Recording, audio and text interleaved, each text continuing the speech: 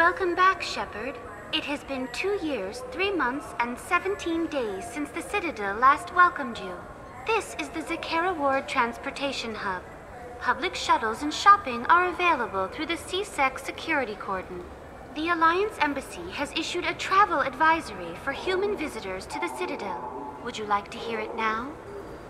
Let me hear the travel advisory. Due to recent adjustments to the Council, humans may find aliens on the Citadel less friendly than usual. Alliance citizens are advised to limit their time in non-human sectors. Group travel is strongly recommended. If you feel you are being followed or threatened, talk to any nearby CSEC officer, or contact the Embassy through the station network.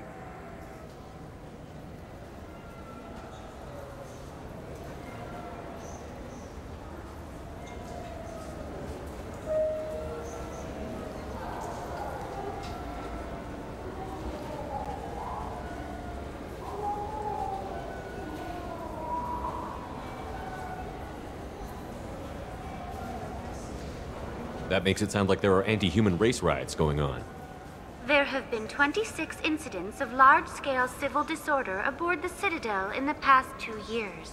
Many non-human residents disagree with the Alliance-led restructuring of the Council and wish a return to the status quo. There seem to be a lot more CSEC officers than the last time I was here.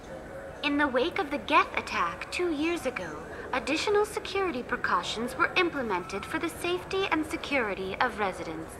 In addition to increased CSEC patrols, weapon carry restrictions have been tightened.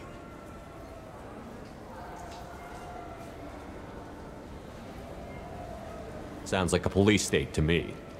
The result is improved safety for all residents. Be advised that your statement has been forwarded to Citadel Security. If you are approached by uniformed officers, please cooperate fully. What stores are available on this level? Only one store exists. Citadel Souvenirs offers licensed mementos of your visit. Their line of starship models is well regarded.